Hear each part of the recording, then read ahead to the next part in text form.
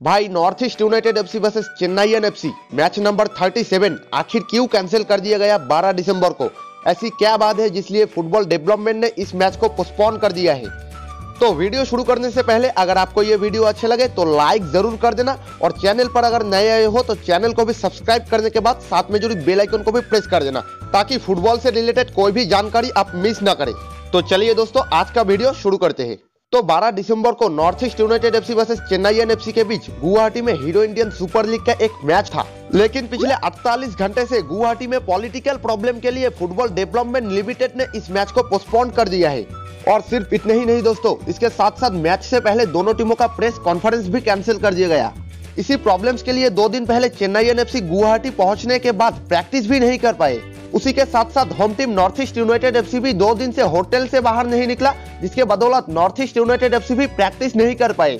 और इसी प्रॉब्लम्स के लिए फुटबॉल डेवलपमेंट लिमिटेड ने स्टेडियम में आने वाला दर्शक और खिलाड़ियों का सेफ्टी के बारे में सोचकर इस मैच को पोस्टपोन कर दिया है।